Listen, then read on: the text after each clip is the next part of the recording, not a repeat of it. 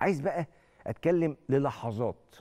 عن بيتسو موسيماني المدير الفني للنادي الأهلي. وأحط شوية يعني سطور كده أو خطوط تحت الحروف. وأنا قلت الكلام ده ألف مرة وهكرره تاني. ما ينفعش ابدا في أي حال من الأحوال أنا أو غيري بالمنطق وبالعقل. بدون آه بدون اسمها إيه نعرة كده ونرفزة وعصبية من الناس. ما ينفعش حد يقول إن بيتسو موسيماني مدرب مش ناجح. ما ينفعش حد يقول إن بيتسو موسيماني مدرب ما أضافش للنادي الأهلي. ما ينفع يعني ده مش منطق. واحد بياخد اتنين دوري أبطال أفريقيا على على التوالي واحد بياخد برونزيتين كأس العالم على التوالي واحد بياخد السوبر الأفريقي واحد بيكمل دوري بتاع فايلر وبياخده واحد بيحقق إنجازات بالجملة مع النادي الأهلي. حتى قدام غريمه التقليدي بيعمل مباريات كبيرة نادي الزمالك. أنت لما بتتكلم على نادي الزمالك قدام بيتسو موسيماني بيتسو موسيماني لم يخسر من نادي الزمالك. إحنا بنتكلم دايما مباريات الأهلي والزمالك هي بطولة في حد ذاتها فبالتالي هو محقق الإنجاز كامل محقق ال full mark لما يخسر بطولة أو اتنين ما حدش ابدا ينفع يقول إن بيتسو موسيماني مدرب غير ناجح. حاجة واحدة من حقي ومن حقك ومن حقنا كلنا ممكن ننتقد فيها بيتسو موسيماني لو طلع بتصريحات أو بحاجات هي خلاف ما نعتقده عن النادي الأهلي أو خلاف منظومة النادي الأهلي. الانتقاد في هذا الأمر هو انتقاد مفهوم ومحمود وطبيعي.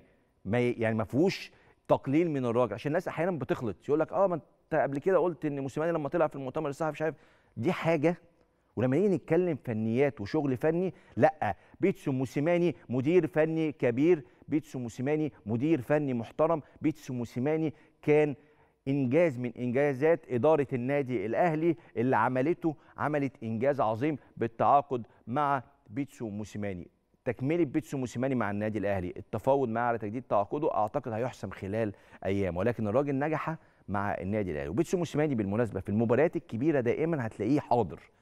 هو ممكن بيتسو موسيماني نتكلم عنه فنيا في بعض المباريات اللي بين قوسين مش كبيرة لكن في المباريات الكبيرة بيدرس الخصم كويس جدا بيدرس المنافس كويس جدا بيعرف يشتغل شغل فني محترم جدا. زي ما قلت لكم النهارده المباراة من اللحظة الأولى من الثانية الأولى والهلال فريق في منتهى القوة. في منتهى القوة الهلال السعودي في منتهى القوة. فريق محترم جدا فريق معمول له تشكيلة محترمة جدا من اللاعبين.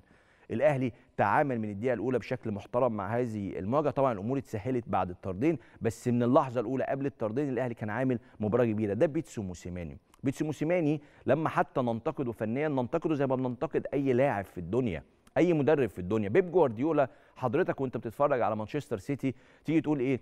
لا بيب جوارديولا over coaching النهارده ألف. انت بتنتقد بيب جوارديولا عادي يعني.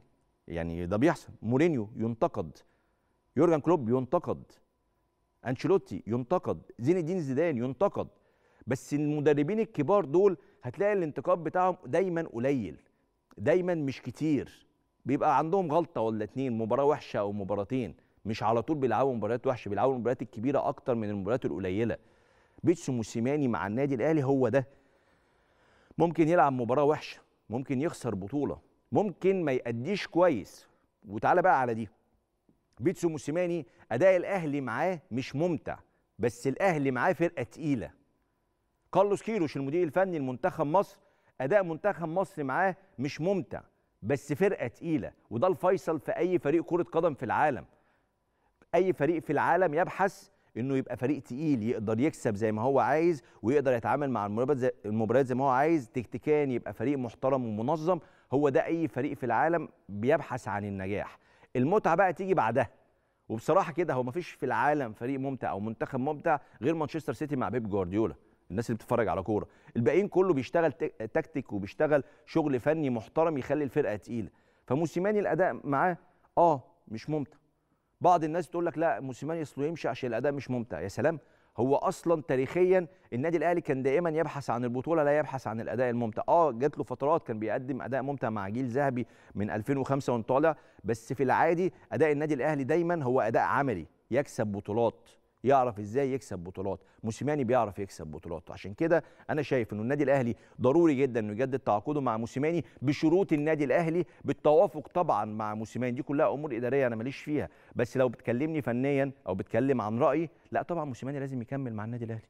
طبعا لازم يكمل مع النادي الأهلي. بس يبقى الاثنين متفقين والنادي الأهلي زي ما خد من موسيماني كتير دايما بنقول إن موسيماني أضاف له النادي الأهلي كتير جدا. جدا طبيعة الحال. ولما بنزعل من موسيماني في تصريحات أو حاجات في مؤتمرات صحفية أو تصاريح صحفية بيقولها في صحف جنوب افريقيا أو خلافه بنزعل على النادي الأهلي مش بنزعل على موسيماني. إحنا النادي الأهلي مش معتادين منه على كده. لكن فنيا لا خلاف على قدرات موسيماني الكبيرة جدا جدا. مدرب رائع وناجح جدا مع النادي الأهلي. وقبل النادي الأهلي أنت بتتكلم حاليا بيتسو موسيماني هو أفضل مدير فني في القارة الأفريقية بقاله 3 أو 4 سنين.